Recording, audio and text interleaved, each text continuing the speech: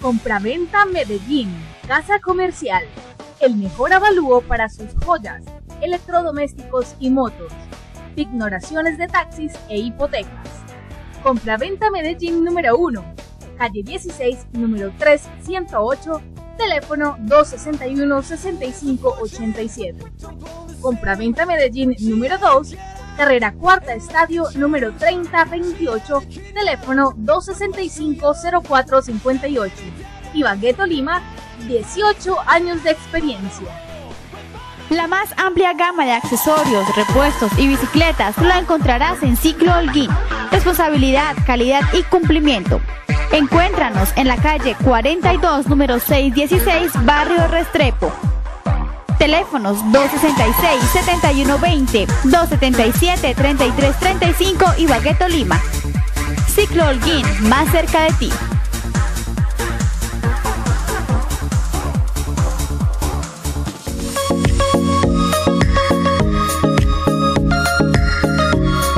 Porky de Ibagué en carnes, la mejor opción. Ventas al por mayor y al detal.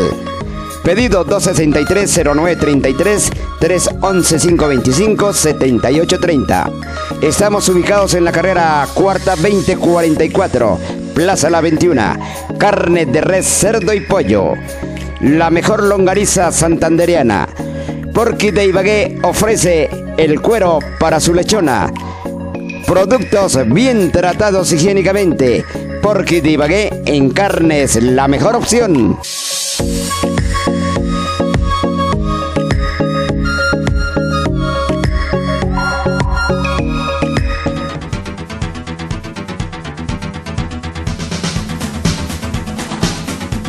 El siguiente programa no contiene escenas de sexo ni violencia. Para los menores se recomienda la compañía de padres o adultos responsables.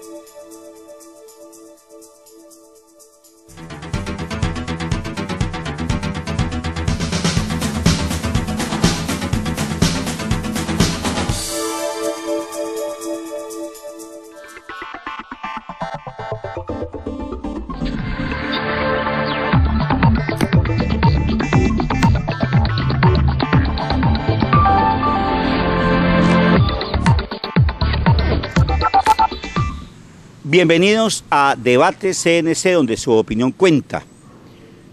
Hoy vamos con Carlos Augusto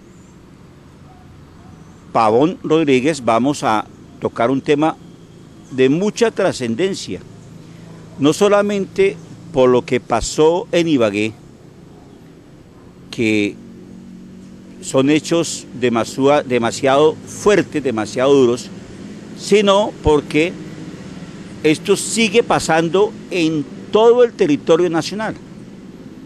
Sigue pasando en los hogares, en muchos hogares aún, que es la violación de los niños, niñas, jóvenes y adolescentes, niñas y niños.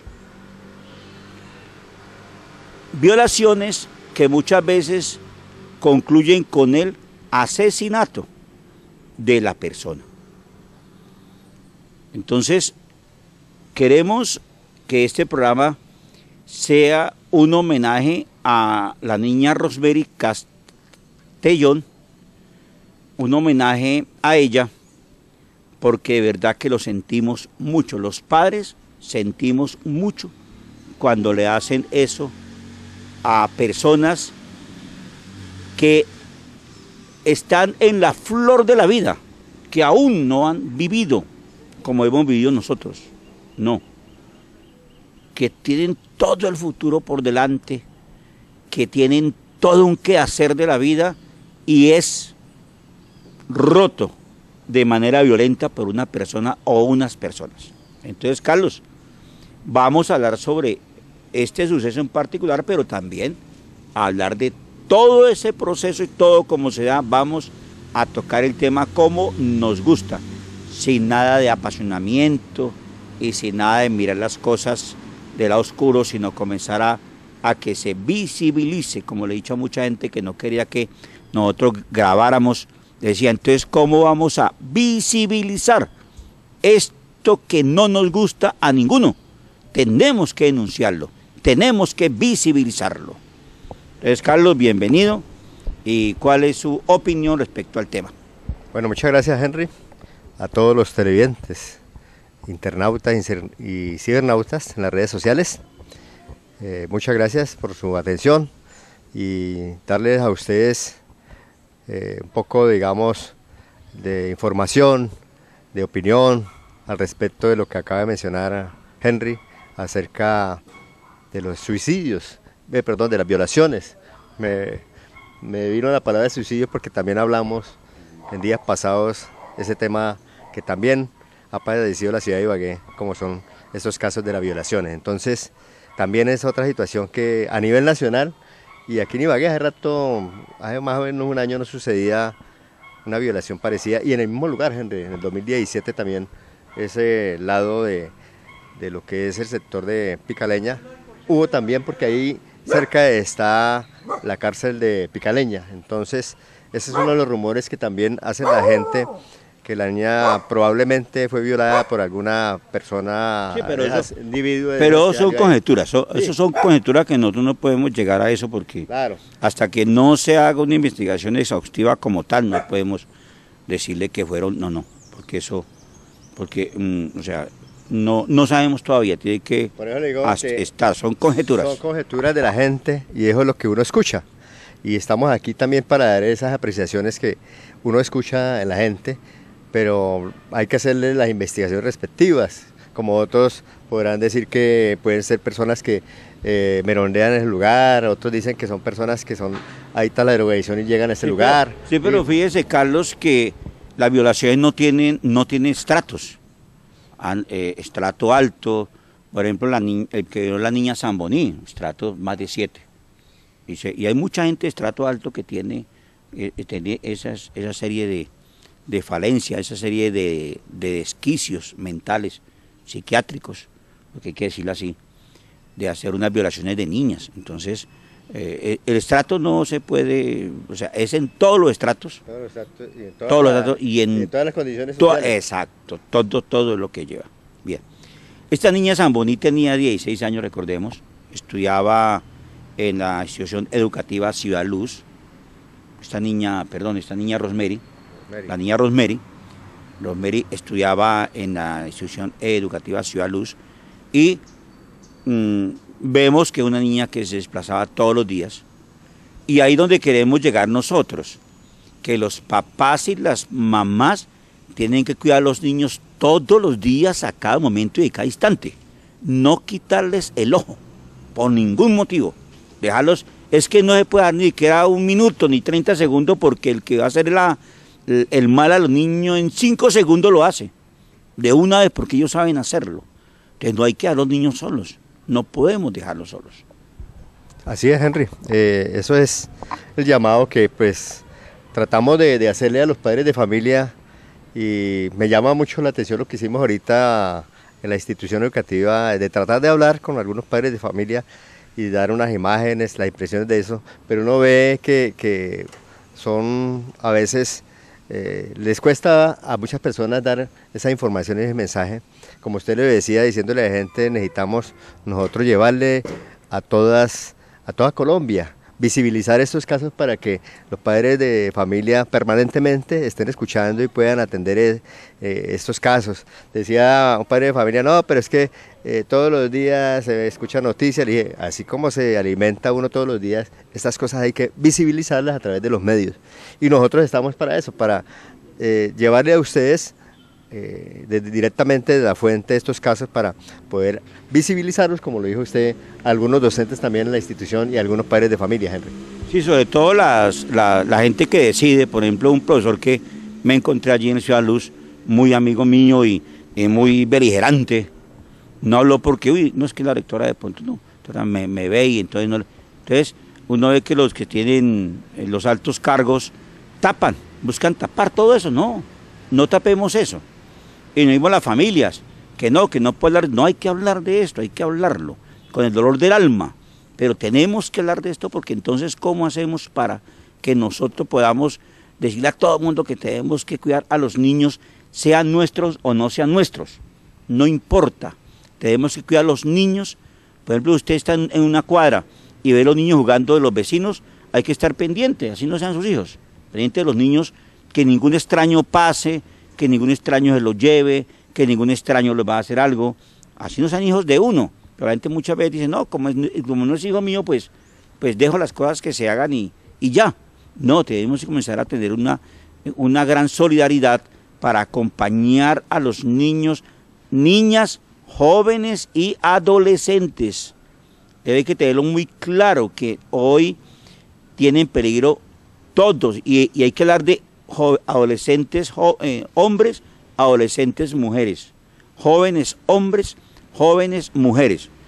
Todos tienen hoy peligro, un peligro latente ante muchos adultos que yo no sé qué les pasa porque la verdad uno no entiende qué les pasa, eh, que eh, buscan la manera de desquitarse todo su odio, todo su rencor, toda su problemática a los niños.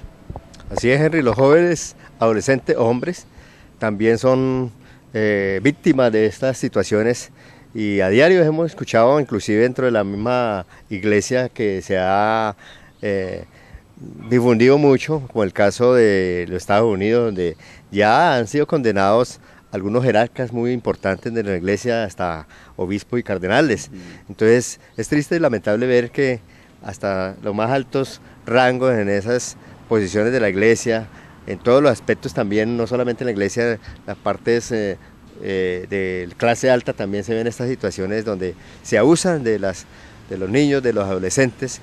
Y como dice Henry, ahí nos toca a nosotros también estar permanentemente, porque recuerden que, que los niños siempre deben de estar acompañados, no dejarlos solos cuando están eh, en un lugar, porque yo quiero, yo quiero hacer un, digamos, una apreciación cuando los niños se dejan, por ejemplo, eh, en una labor, una actividad en la iglesia como acólitos, ¿no? A esos niños hay que estar pendientes y ayudarnos y ustedes como padres de familia deben estar ahí, pendientes de que esos niños no van a ser sujetos de alguna situación donde sean tentados o que puedan eh, llegar a un momento determinado como víctima probable para eh, un momento de, de violación, ¿no, Henry? Sí, entonces, sí. Por ejemplo, hay casos que, que queremos tratar aquí, mire, para todo mundo. O sea, hoy, hoy la víctima es Rosemary, la niña Rosemary. Pero, pero han habido muchas Rosemarys, han habido muchas niñas y niños también que han sido, que, que, que han pasado por esa etapa de la vida, que no lo han asesinado, pero, pero una persona que es violada queda muerta en vida, o muerta en vida, o sea, queda, queda lacerada de por, de por vida. La gente no entiende eso, no comprende que una violación, eh, muchas veces por eso es que la gente, Carlos, después de cumple 60 años, 65, 70 años, usted encuentra que los violadores, la mayoría tienen más de 50 para arriba, porque resulta que, y si usted le pregunta a los violadores cuando hacen, eh, cuando ya se quebrantan, o sea, ya no aguantan más y cuentan, automáticamente cuentan que ellos también fueron violados, violados cuando estaban niños. Y ve que, que eso revierte muchísimo. Pero también planteo que si se habla de esto, si se habla más de esto, la gente que tiene ese problema va siendo más consciente y va, y va como manejando esa situación y no se deja llevar, que porque a mí me hicieron eso, pues entonces yo también voy a hacer lo mismo. Por, por eso es bueno eh, socializar, visibilizar, hablar, no, no, tener un tabú como tema un tabú, no, sino hablar de estas cosas. Por ejemplo, fíjese que la niña, que lo que más me llama la atención es que muchas veces los, los jóvenes y los niños, eh, digamos, cuando tiene uso de razón, tipo 10, 10 años, 12 años, ya dicen, no, yo soy grande y me voy solo. No, papá, tranquilo que yo me voy solo. Y no me pasa nada. Y no me pasa nada. Te dice, no, lo que pasa es que eh, lo que pasa es que no le ha pasado nada, pero sí le puede pasar. Fíjese que la niña, la niña Rosemary, la niña Rosemary, ella eh, siempre su familia iba, iba por la niña, la esperaba ahí. Pero nosotros conocimos el sitio y ahorita vamos, vamos a ver estas tomas acá de estas imágenes. Si ustedes pueden ver, ya pueden observar las imágenes. Oiga, es un sitio muy abierto. O sea, es una, no es una trocha, No, es una carretera. Y no es como decían otros medios que no, que era que era el montado, que este era puro monte. No, al contrario. Está limpio de maleza. Limpio de maleza.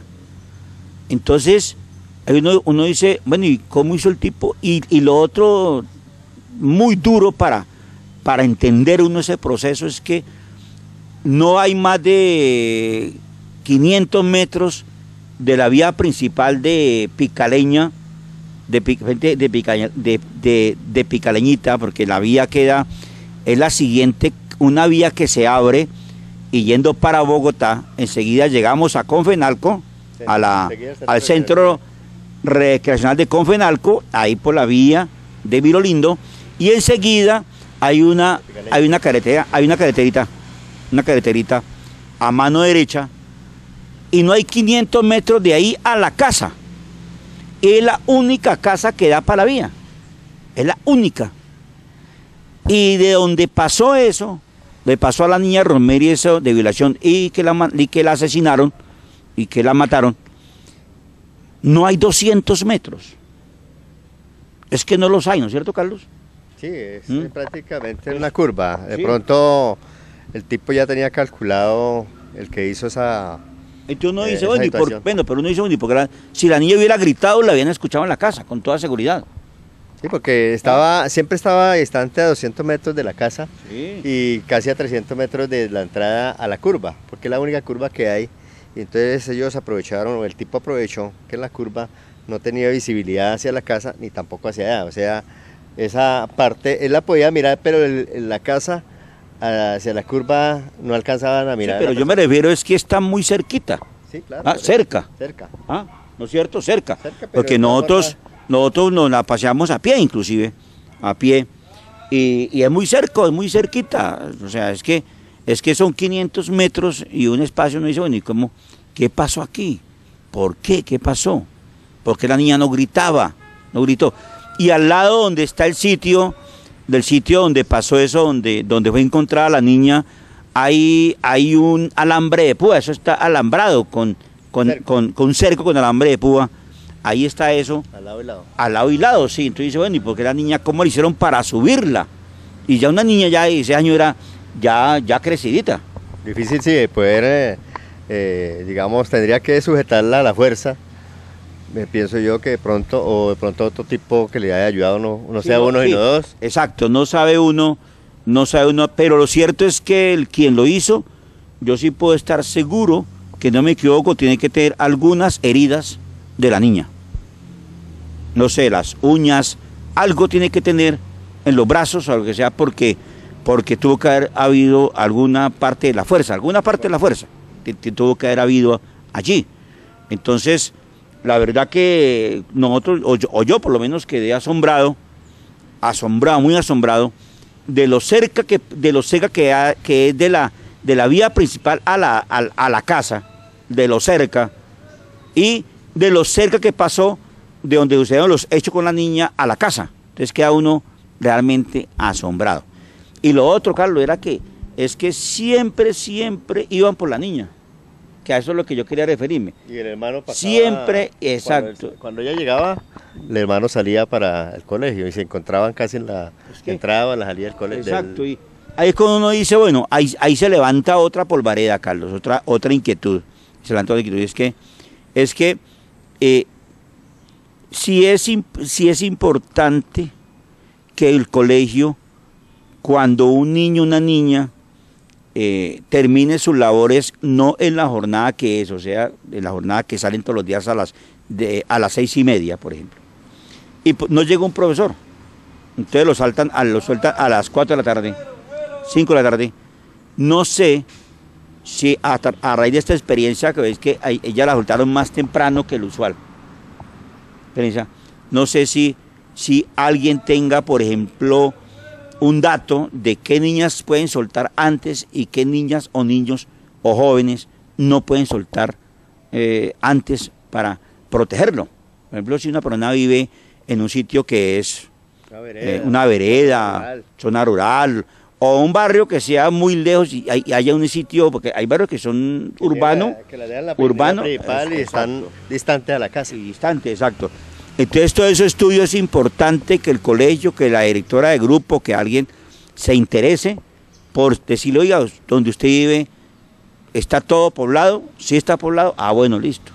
Pero fíjese que fue ellos fue porque, según cuentan, no falta ver que, Dios quiera que sea cierto, según cuentan, es que, mm, es que eh, la soltaron más temprano que de costumbre, o soltaron no, sino que eh, dijeron, bueno, se puede ir para las casas más temprano que costumbre, y por eso los padres o el hermano no pudieron ir por ella, por eso, porque, entonces fíjese que eso es un, no tenemos que bajar la guardia en cuanto a proteger a nuestros hijos. Y los hijos muchas veces, muchas veces son voluntariosos y dicen, no, a mí no me pasa nada.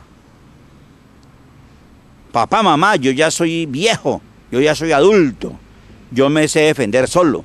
Ya estoy grandecito, Ya, estoy grandecito. ya estoy, ya estoy crecidito, estoy crecidita.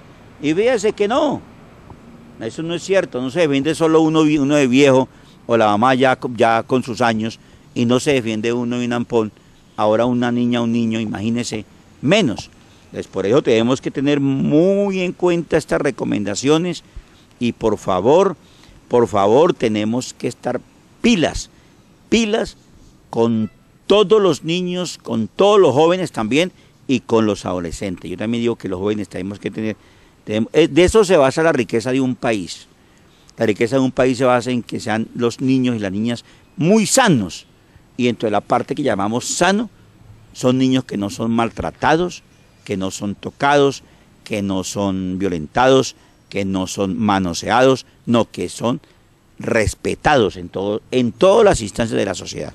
Seguimos en este eh, intercambio de opiniones con Carlos Pavón, intercambio sobre, sobre la, pues, la temática que, que nos ocupa hoy, mañana y siempre, que es, mm, que es el respeto, el respeto hacia los niños, niñas, jóvenes y adolescentes. Recordemos que eh, los niños, niñas, jóvenes y adolescentes son nuestro futuro, nuestro futuro. Si la niñez y los jóvenes son sanos, vamos a tener un futuro fuerte, sano, gente emprendedora, gente con dignidad, gente con respeto, gente con gallardía, gente con valentía. Si tenemos gente así, este país realmente funciona. Eh, nos volvemos más, eh, más creadores, generadores de, de proyectos, generadores de ideas, en fin, de todo tipo. Si tenemos una, una sociedad realmente inteligente y la inteligencia tiene que ver con la salud mental. Entonces vamos, vamos a proteger a nuestros niños, niñas, jóvenes y para la, para la salud mental. Usted como papá, Carlos, como papá, ¿cómo podríamos, cómo podríamos apoyar a muchos padres de familia que en estos momentos dicen, bueno, ¿y yo cómo hago para de pronto fortalecer a mis hijos? ¿Cómo los puede fortalecer ante, ante eso a veces que, que sucede para que se protejan un poco? Primero que todo, eh, pues eh, estar eh, en continua comunicación con ellos. Desde el seno del hogar, como padre de familia, adoptarlos con mucho amor para estar cerca, que pueda uno permanentemente estar en contacto con ellos en el día a día, ¿no? Como estudiantes, cómo les fue, hablar con ellos de, de sus amigos, de sus mejores compañeros, para poder eh, tener, digamos, como una idea a futuro de, de pronto de que llegue a suceder, tenga uno más claridad eh, hacia dónde apuntan las situaciones en un momento determinado, que sucedan esos casos como padeció esta niña. Entonces, con ellos hay que hablar permanentemente eh, en el día, en la mañana, en el mediodía, a la hora del almuerzo, durante la tarde, la noche, y estarles sacando, sacando muchas veces casi que forzadamente, porque los jóvenes de hoy en día eh, son muy eh, entregados a las redes sociales, entregados al celular. Entonces toca como empezar a hacer esa tarea como padre de familia de sacar el ratico poco a poco para que puedan tener un diálogo de frente, frente, ¿sí? sin necesidad de, de que pueda uno eh, pues presionarlos, y así de esa forma eh, podríamos nosotros ayudarles en el día a día. Bien, yo también tengo que decirle a la gente lo siguiente, yo voy a ser muy fuerte, Carlos, me toca ser fuerte porque esto ya no aguanta tanta, tanta diplomacia. No, tenemos que ser fuertes ya. ¿En qué sentido? Tanta diplomacia Sí, con los padres de familia. nuestra Sí, sociedad, y ¿o con, qué? con la sociedad, tanta diplomacia con la sociedad. No, tenemos que ser muy fuertes. Uno, yo sí recomendaría a los padres de familia más. Mire, uno, no deje a los hijos con ninguno diferente al papá, la mamá o la abuela. No los deje. Ojo bien, papá, mamá o abuelita. Nada de eso. Por favor, no dejen a un niño, a un menor o niña, ni con los primos, ni con los tíos, pero digo que es fuerte, ni con los primos, ni con- y muchas veces ni con el abuelo, Ni con el padrastro. ni con el padrastro.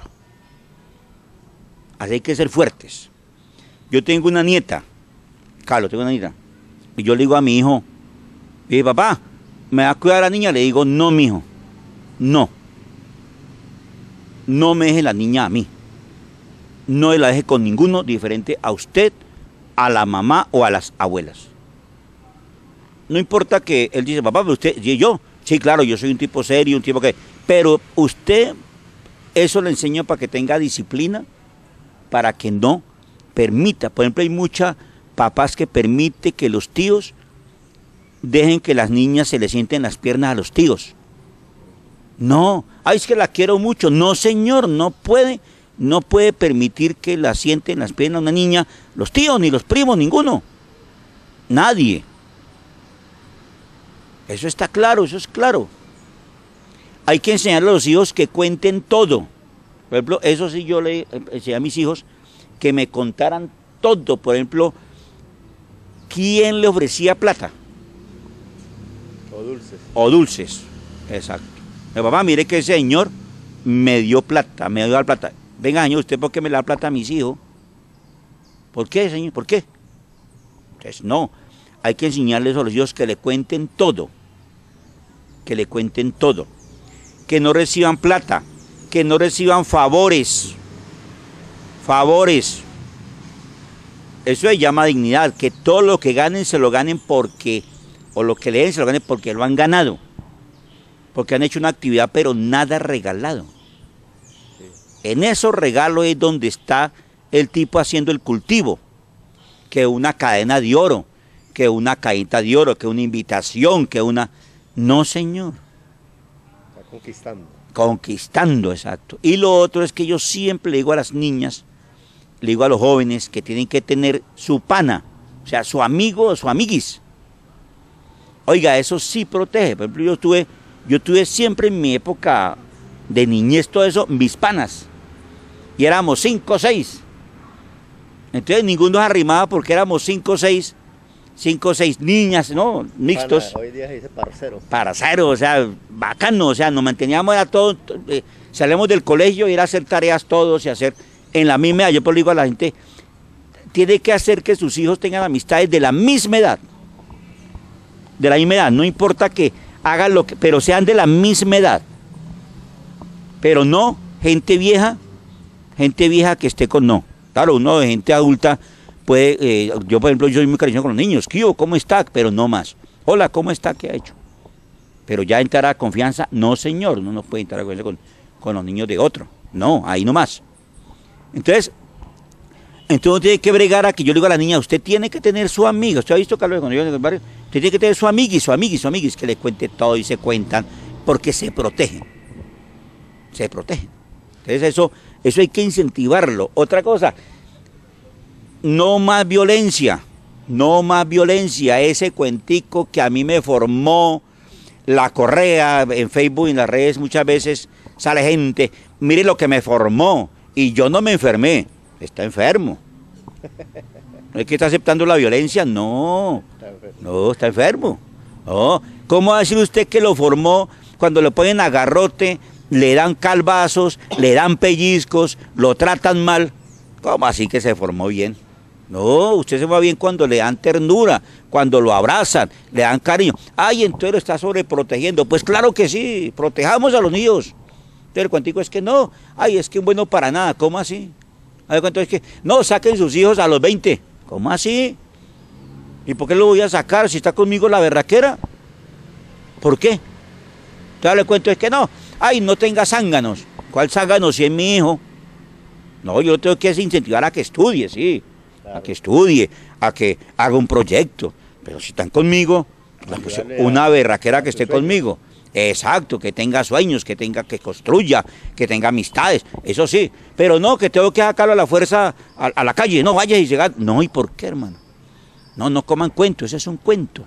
Porque cada vez que usted vota uno, un joven, así sea 25 años, 20 años, 30 años, muchas veces lo vota que, a que, el, maloso, caldo para el maloso. No.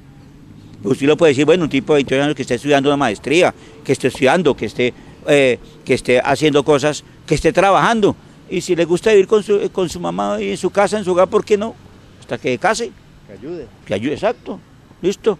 Pero no, no, sáquelo porque es que es un bueno para nada. No, papá, no. Entonces estamos en una sociedad que, que reivindica la chancla, que reivindica el látigo, que reivindica, que reivindica la correa, que reivindica los pellizcos, que reivindica la guerra, la guerra.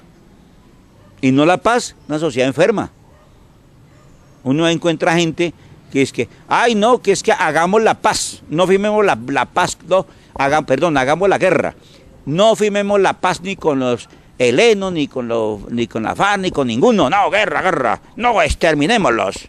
Oh, eso es enfermo. No, que mejor que esté la paz.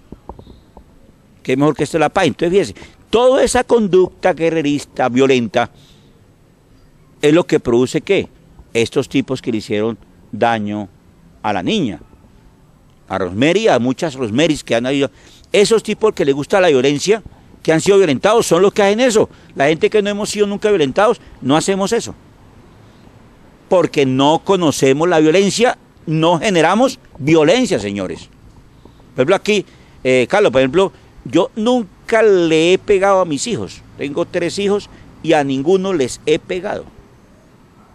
Hicieron embarradas, pues claro que sí, pero era un abrazo, un abrazo generoso, decirle, bien hijo, echemos para adelante, bien, no la embarrar otra vez, venga para acá. Y son, hoy son hijos de 28 años, de 23 años, de 20 años, amigos míos. Y ellos que es lo que más recuerdan, pues eso, que nunca los violenté. Papá, usted ve que nunca nos pegó, pero ¿y para qué les pego? La violencia nunca los va a formar y ellos son personas Usted lo conoce, Carlos, que son personas que no tienen, que no, que tienen cero violencia. Usted también tiene experiencia con sus hijos, también lo conozco. Nosotros tenemos unos hijos chévere, chéveres, bien, para mostrar, pero es porque les hemos enseñado que no a la violencia, no a la violencia. Ese es nuestro, ahí, nada de, nada de, cero violencia. Ni que era gritos, ni que era malos tratos, no, no, chévere como amigos que somos. Abrazos. Entonces, esa gente que hace, que viola, que atraca, que fuma marihuana, que fuma bazuco, que mete vicio, son gente siempre que son violentados en el hogar. Por lo general, pues hay excepciones, lógico que hay gente que nunca ha violentado y, se va por mal camino por una mala amistad que consiguió. Hay mucha gente que es por una mala amistad, o sea, una mala influencia. ¿Ya? Pero de, de 100, decían que son bien tratados por ahí, uno, uno o dos, tres, pero el resto quedan bien, papá, bien chéveres. Entonces eso es la orientación que queremos darle a raíz del homenaje que estamos dando hoy a Rosemary, para que no más niños, niñas, jóvenes ni adolescentes sufran de maltrato, sufran de violación, menos que los asesinen tan vilmente. No puede ser y aspiramos que salga rápido esa investigación y que el culpable que es verdaderamente culpable, ¿no? El que sea verdaderamente culpable, que hombre, y en eso sí yo sí, yo sí estoy de acuerdo, no, no con la horca ni que lo maten, no, pero sí la cadena perpetua, yo sí estoy de acuerdo con ese tipo de violadores cuando se logre constatar. porque es que, claro, constatar bien, bien que diga así, porque es que El problema de esas, de esas, de ese tipo de cosas es que muchas veces utilizan para fregar a gente que no tiene nada que ver, fregar a un político, un man que le está haciendo la, ¿sí entiende? Le hacen el montaje para decir, mire que eso, pueden comprar testigos. Entonces, no señor, e, eso es el miedo que le da a uno decir, bueno, si se hace eso, y por eso es que muchas veces cuando hay pena de muerte las han quitado, porque al tiempo se dan cuenta que el tipo que mataron no era el culpable, sino que la, la investigación la torcieron, como torcieron la investigación de Álvaro Gómez Hurtado, donde, como torcieron la investigación de la, de la muerte de, de Garzón, ¿sí? de mucha gente, la gente con poder allá, han torcido y ve que después de 20 años, 30 años, se conoce la verdad que es que, la, que han torcido toda la investigación y han cogido gente que está ahí parqueada. Hola, usted fue, venga. La, lo que llamamos nosotros la cacería de brujas. Vea, usted fue que te dice, ahí está lo mío para decir, capturado el que hombre que asesinó a, Gustavo, a Álvaro Gómez Hurtado, ta, ta, ta, y, y le llaman prontuario de una para desviar la investigación pues, de los que son reales. Entonces fíjese que eso, eh, eso mm, pero la pena de, de, más de 60 años, 80 años, 80 años, o sea, que toda la vida dure, eso, eso debe ser, eh, debe ser así porque es que ya se ha determinado que estas personas vuelven a hacer lo mismo, o sea, ya son, porque son enfermas, porque le hicieron lo mismo cuando estaban pequeños, imagínense.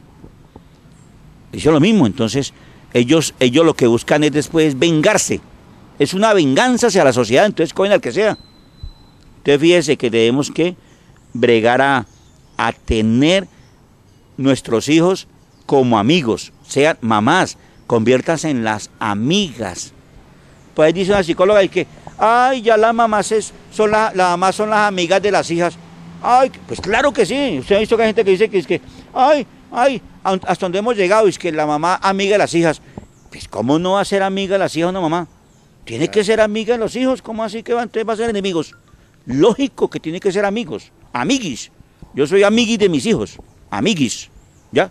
Y saber, eh, saber eh, eh, guardar los secretos, saber guardar los secretos, saber guardar todo lo que le digan, apoyarlos, todo eso, hermano, bajo la sana, lógicamente, que uno como papá y mamá lo, siempre busca lo mejor para sus hijos, lógico, siempre, nunca los va a inducir al mal, los va a inducir siempre al bien. Pero gente que, ¿usted ha escuchado acá que ahora el cuento ese?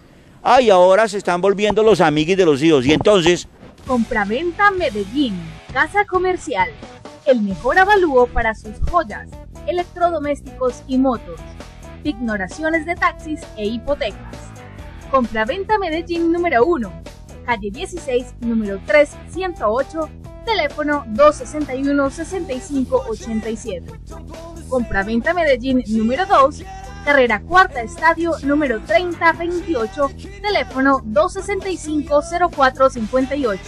Ibagueto Lima, 18 años de experiencia. La más amplia gama de accesorios, repuestos y bicicletas la encontrarás en Ciclo Holguín. Responsabilidad, calidad y cumplimiento. Encuéntranos en la calle 42, número 616, Barrio Restrepo. Teléfonos 266-7120, 277-3335 y Bagueto Lima. Ciclo Holguín, más cerca de ti.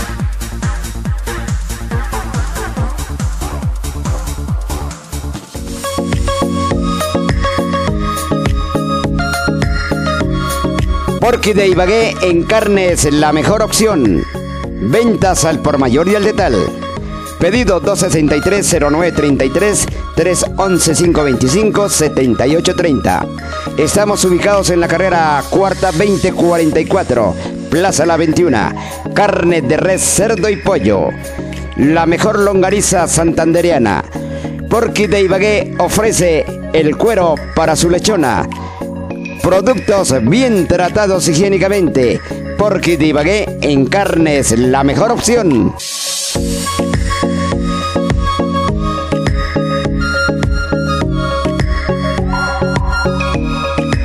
¿Usted, qué plantea ante eso, Carlos? Pues mucho mejor, porque de esa forma puede uno tener mejores hijos hacia nuestra sociedad. Y en las redes sociales se escucha mucho a propósito de la eh, cadena perpetua, también mucha gente insistiendo muerte a violadores. Eso no, eso ya a nivel internacional ya está contemplado por los estatutos que tienen que ver eh, con el cuidado de la vida. Entonces, eso por más que sea mala la persona, ya eso está abolido en todos los países civilizados. Entonces, si hay personas que hacen eco a esa situación, que dejen llamado a las autoridades, al gobierno, pienso que también están, digámoslo, entre comillas, enfermos, porque eso de, de incitar a un gobierno, a una sociedad de que se le quite vida a otra persona, por más mala que sea, pues pienso que está en contra de la vida misma de cada uno de los que hacemos parte en este mundo, en esta sociedad. Entonces, estoy de acuerdo con Henry que la cadena perpetua sí debe existir y que sea eh, contemplada con todo rigor, con investigaciones que se lleguen a varios pasos donde tenga que cumplir por los tribunales, es decir, que pase por un proceso antes de condenarlo, de por lo menos cinco años de investigación para que puedan verificar que esa persona... No porque alguien, no publicarlo, porque hay, hay casos en los cuales evidentemente se coge el tipo... O sea, no, cuando me sí, o sea, refiero sí. de cuando hay cinco duda, años- cuando hay duda. exacto, sí. cuando me refiero que hay dudas, que no se sabe con certeza qué es, tiene que hacerse todas las investigaciones de rigor para que cumplan todos los pasos, o sea, que hay un, un tiempo que se pueda hacer y las distancias que se agoten al máximo, ¿no? Porque hay veces que se tiene en evidencia que se cogió a la persona fragantemente en el suceso, pues inmediatamente hay que condenarlo, ¿sí? Pero eh, hay excepciones como esa. Entonces yo pienso que nuestra sociedad tiene que estar más mm, mm, atenta en ese caso del tema de, de violaciones eh, hacia nuestra niñez. Tenemos que estar más pendientes. Lo mismo las autoridades. Las autoridades también tienen que ser más severas en ese eh, sentido de hacer más campañas desde la insti- institución educativa, aparte de la familia que nosotros le damos como padres de familia, también en la institución educativa se debe eh, socializar permanentemente temas de, prevención, temas que nos puedan aportar a mejorar eh, en ese aspecto de, prevención eh, en los casos de, de violación, ¿no? También en el gobierno local o nacional permanentemente tiene que hacerse esas campañas eh, didácticas, educativas, de prevención para que eh, minimicemos la cantidad de problemas que hay eh, en nuestra sociedad. Bien, otro caso que hay que tratar ya, ya, ya es hora de tratar con frialdad, con frialdad, así como tratado. Muchas mamás, ojo bien mamás, esto es para mamás, muchas mamás se dan cuenta que en la casa están violando a una de las hijas, por parte del padrastro, por parte de los hermanos, de muchos hermanos, de primos, de tíos, y la mamá por, por conveniencia, porque el señor le trae lo del mercado, o le tiene el techo, o el señor le, o le da pena por una, eh, porque, porque sea un escándalo, tapa esas cosas. La tapa y permite que la niña conviva. Hay niñas que han convivido hasta 8 o 10 años con un violador en la misma casa. ¿Sí sabe los últimos casos un- de un, de un padrastro 4 y un papá? Un papá desde los 4 años hasta los 12 años duró violando una niña. Entonces, yo llamo a esos, a esos hermanos que se dan cuenta, a, esos a esas mamás que se dan cuenta, que por favor sepan que usted ya no se va a morir de hambre si usted denuncia y no le dé vergüenza denunciar a un tipo de eso porque está acabando con la vida de una persona. La está acabando, la está dañando. O sea, está volviendo otra persona lo mismo que, que él. Entonces es importante que las mamás o hermanos, hermanas que se den cuenta de eso, denuncien. Denuncien ese violador. No permitan más ese violador. Por eso es que muchos eh, curas han violado a muchos niños y niñas, niños y niñas, y ahora subió ese escándalo con el cardenal, eso del Vaticano, donde ya fue condenado por violador. Y también se dice que el Vaticano tiene un rubro especial para responder por los hijos de los curas. ¿Sí supo también eso, Carlos? Ya, ya, se, ya se denunció que el Vaticano tiene un rubro especial para, para solventar a los hijos de los curas. Para indemnizarlos. Y para indemnizarlos, para callarlos. Sencillamente para que no cuenten nada, para callarlos. Eso es callar. Eso es comprar el silencio. De allí que nosotros tenemos que decirle a todos, toda la sociedad tenemos el compromiso y tenemos que hacer que en cada momento, en cada sitio, nosotros defendamos a los niños, niñas, jóvenes y adolescentes, sean hombre o mujer. Sea hombre o mujer, porque recuerde que hoy tiene peligro tanto el hombre como la mujer. Antes era solamente, ah, no, no es la mujer. No, ahorita hay peligro del hombre y la mujer, de los dos sexos. Entonces tenemos que protegerlos, tenemos que rodearlos, estar al pie de ellos, en buscar quién es el amigo, de dónde es el amigo, qué hace el amigo, qué hace el pana, qué hace el llaverío. Tiene que hacer eso. Entonces, Rosemary, la verdad que nos da triste, nos da, nos da mucha tristeza que haya estado en ese momento, en un minuto tan, tan crucial, tan lamentable, pero además de de, ponernos tristes, a pesar de no ser nuestra hija ni nuestra familiar, pero es una joven, que como lo decía yo cuando arranquemos, una joven que apenas inicia su vida, que no se merecía eso, porque era una niña, una niña de campo. Pues no quiere tampoco decir que entonces de la ciudad merecen eso. No, pero no merecía esto como ninguna mujer lo merece y como ningún niño lo merece pero estuve en el, lugar que no tenía que estar en ese momento. Lastimosamente se cruzaron allí un tipo que atormentado con una niña que iba para su casa y sucedió lo que sucedió. Lo importante es que nosotros comencemos a, a tener conciencia y a tener espíritu de solidaridad y a no aceptar la violencia como recurso, no aceptar la guerra, no aceptar la confrontación, no aceptar eso, no aceptar los pellizcos, no aceptar las chancletas, no aceptar las jugueteras, no aceptar ningún tipo de violencia, no ejercerla, ni aceptarla. Tenemos que llegar a una sociedad donde la violencia desaparezca del panorama, de nuestras vidas. Porque a eso vinimos, vinimos al mundo a ser feliz, no a que nos pase eso que le pasó a la niña Rosemary. ¿Sí o no, Carlos?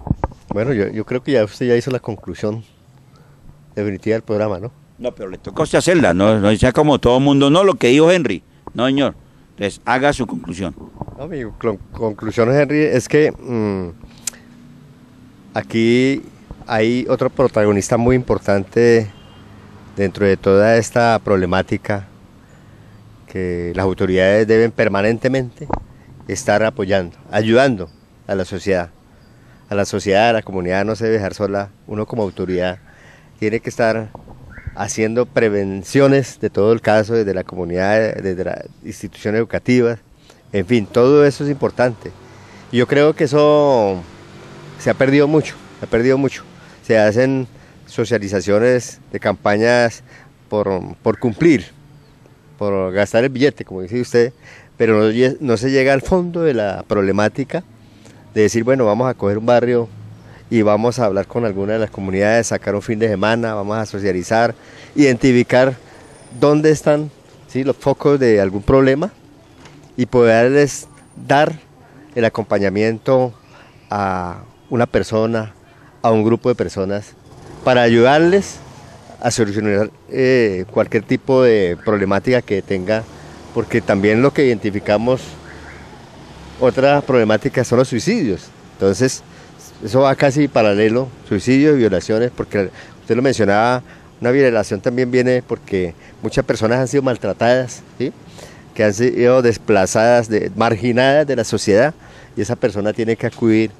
a agredir, a violentar, a asesinar. Entonces, todo eso es conjunto, Henry. Entonces, mi llamado a la sociedad, a las autoridades locales es que tenemos que estar permanentemente eh, coayudando, fortaleciendo esa comunicación, eh, fomentando más fuerte esas campañas para que nuestra niñez se sienta acompañada, se sienta con mayor conocimiento de lo que le vayan a aportar para prevenir, para que no caigan en ese error o en esas situaciones tan lamentables como padeció esta estudiante Rosemary.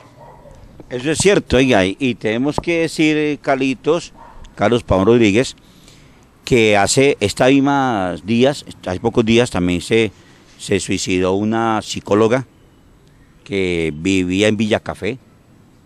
Una psicóloga se botó del puente de Cajamarca, allá del puente de la gente también se suicida, del puente de Cajamarca, se suicidó y, otro joven aquí, el Jordano Benetapa, también se suicidó. Oiga, están suicidándose mucha gente en Ibagué y en el país también. Y eso amerita también que estemos muy pilas, eh, muy pilas en eso. Por ejemplo, dice que la parte económica es importante, sí es cierto, pero el caso de la psicóloga pareciera que no fue por la parte económica, aún no se sabe. Eh, pero, pero es importante que la gente, además de que haga cosas por la vida, que misas y que rezos y que reuniones, también es que haga, espera, aspiramos que ya haya presupuesto para hacer el muro, ese muro que, hay que hacer ahí en el puente de la variante, el Conveima, un muro inmenso, que se cambien las rejas, o sea, que se haga la prevención, no estar a todo momento llorando, ni rezando, ni, ni diciendo que no, que es culpa del diablo, no, no. También hay que hacer eh, acciones para que no les quede fácil a la gente tomar determinación de irse y lanzarse, ¿no? Tenemos que también, así como hay tantos muros tan, altos en un penal, ¿por qué no se invierte allí que es para defensa de la vida en nuevos muros altos, altos en los puentes? Para que la gente no pueda acceder fácilmente a decir me voto de este puente. Es importante. De modo que pues, pues no es la solución, pero por lo menos lo merma. Merma, merma mucha gente porque pues hay mucha gente que también que coge no tiene para, pues se cuelga de, una viga de la casa, con lazo, lo que sea, pero de todas maneras, de todas maneras, eh, entre más difícil le queda a la persona, se va a, disminuir ese caso.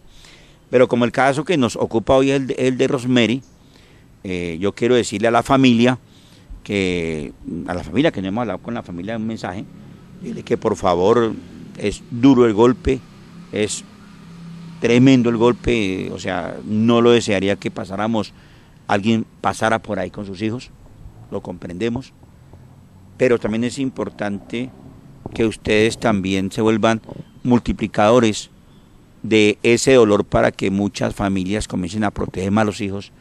No los critico a ustedes que por usted, no, no, no fue eso, porque si ustedes supieran que fuera a pasar eso ahí ese día o la niña supiera que iba a pasar, con seguridad que no, no se hubiera ido. No, aquí nadie es culpable. Culpable fue el tipo que, el tipo que le hizo ese daño, ese sí es culpable. Pero ni la niña, ni usted, ni los papás son culpables, no. De modo que hay que tener mucha, mm, o sea, mucha valentía, mucha fuerza. Ese dolor nunca se va a acabar. Yo le digo a la gente cuando se le muere a alguien, le digo, no busque olvidar ese dolor porque ese dolor nunca se acaba. Ese dolor se maneja. Pero ese dolor nunca muere con uno. Muere con uno. Hay mucha gente que dice, no, venga, olvide, olvides eso. No, eso no se olvida. Hay dolores como esos que no se olvidan jamás. Ahí van a estar toda la vida en nuestro corazón. Entonces tenemos que recordarlo por las cosas bonitas que compartimos con la persona, las cosas hermosas con la persona. Y por eso digo a mucha gente que tenemos que todos los días portarnos bien con los seres queridos, despedirnos, porque muchas veces no sabemos si es la última vez que sale y no regresa vivo, ya regresa muerto. No sabemos, porque la, muerte es lo más seguro que tenemos todos. Y, lo, y no sabemos dónde ni cuándo. No sabemos dónde ni cuándo. no lo escogemos nosotros. Es el momento, sí. Eh, así como se hace un llamado a los padres de familia para cuidar a nuestros hijos, yo me hago la pregunta y valdría la pena también que usted me ayudara a aportar y a fortalecer cómo poder identificar y también ayudarle a esas personas que están padeciendo esa crisis, que están enfermos por X circunstancia. El caso del, del, que violentó a esa niña, de que hizo ese, eh, quitarle esa vida, cómo poder identificar desde el seno de un hogar a una persona que está en ese estado que no se conoce. Eh, también vale la pena hacerle una recomendación al padre de familia porque muy seguramente ese sujeto que hizo eh, quitarle la vida a esa niña también tiene su familia, pudo haber estado, digamos, como una persona de bien, pero si se le hace una recomendación a los padres de familia de ese sujeto, muy seguramente se puede identificar y anticipadamente ellos pueden denunciar esos, casos o hablar con esa persona. No sé cómo usted podría hacer, digamos, esa apreciación para hacerle ese llamado a la familia. Claro, claro, es importantísimo. Hay, hay gente que sabe que su familiar hace eso y, y lo cubre, lo tapa, ¿no? En lugar de ayudarle. Ahí sabe que, que son propensos a estar haciéndole, haciéndole daño a la, los ven en la casa haciéndole daño a un familiar mismo y, no son capaces de, asumir ese proceso, de decir, no, no puede ser que hagan eso, no puede ser. Entonces, lo que tenemos que procurar es hacer lo que hablamos, que si identificamos que una persona está enferma, está enferma o, es propensa a violar a alguien, a hacerle daño a un niño, una niña, si estamos viendo que, está, que puede hacer daño, tenemos que llevarlo para que se haga ver de un psiquiatra, de un psicólogo, de alguien, para que lo traten, para, para protegerlo, porque imagínense, si él hace ese daño, eh, viola y mata, pues se va para la cárcel, pero sí se puede, se puede llevar a cabo una solución de una asesoría mental, de algo, de pronto se puede atenuar, se puede decir, no, no, no le va a pasar eso, no le suceda eso, y se salve vidas. Pero mucha familia, muchas familias saben, saben que su hijo, que su primo, que su tío es un violador, pero no lo encubren para protegerlo, pero eso no es protección. Eso es que un día estos comete una embarrada bien grave y lo vamos a ver o muerto o en la cárcel. Y recordemos, Carlos, que en la cárcel los internos, los internos son duros con esa gente que, que vaya por el delito de acceso a canal violento de, violación. Esa gente allá, esos cuinteros tienen una, un código de honor, que cuando llega un violador, les va muy mal, les, da, les va muy mal a los tipos. Entonces, a la familia que sabe que su familiar es un violador, que tiene, que tiene como principios, e indicios de eso, pilas, protéjalo de una vez y proteja a la sociedad salve una vida, usted puede salvar una vida allí, hágalo si puede. Carito, en todo caso, en todo caso, eh, este tema es muy amplio, muy grandísimo, pero creo que hemos dado unos tips a las familias, a todo mundo, nos, hemos hecho un programa muy completo y aspiramos es que a los no más violencia contra las niñas, niños, jóvenes y adolescentes. No más violencia buen trato. Y ojo, papás, nada de chanclas, nada de pellizcos, nada de correas, nada de malas palabras, nada, eso no forma, eso deforma, eso violenta. Más abrazos, abrace, abrace más, ría más, comparta más con los hijos, pero no, no lo violente. Carlos, muchas gracias, hermano, gracias y la verdad que, la verdad que que sentimos mucho esto y por eso estamos apoyando con estas palabras a la familia de, la niña Rosemary. Bueno, no, Henry, muchas gracias eh, a todos los televidentes, internautas, internautas que nos van a ver a través de los medios y las redes sociales de estos temas de mucho interés y esperamos que nos lleguen sus comentarios y pedirles a los padres de familia que hayan, como lo Henry, mucho amor, muchos abrazos y mucha comunicación. Eso es lo más importante, la comunicación. Muy bien, muchas gracias a todos ustedes. Recordemos que esto es Debate CNC, donde su opinión cuenta y esperamos a que nos sigan compartiendo en YouTube y en todas las redes sociales y lógicamente en, nuestro canal. Y muchas gracias a todos los visitantes que, han, que están con nosotros siempre, con nuestros videos, siempre allí. Muchas gracias y continuamos en el canal 22 de CNC de Legón y hasta una próxima oportunidad.